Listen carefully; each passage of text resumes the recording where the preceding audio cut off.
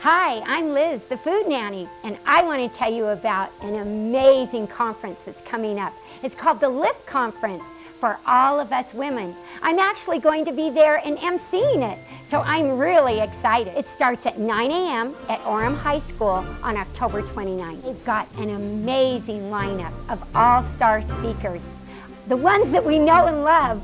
So I hope that you'll put it on your calendar now so that you can attend.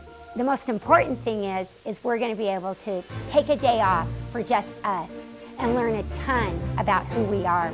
To register for the conference, you need to go to seagullbook.com. And it's going to be $19.99 for the whole conference. I think it's worth it, and I know that you'll agree it's going to be worth it. So I hope to see you there.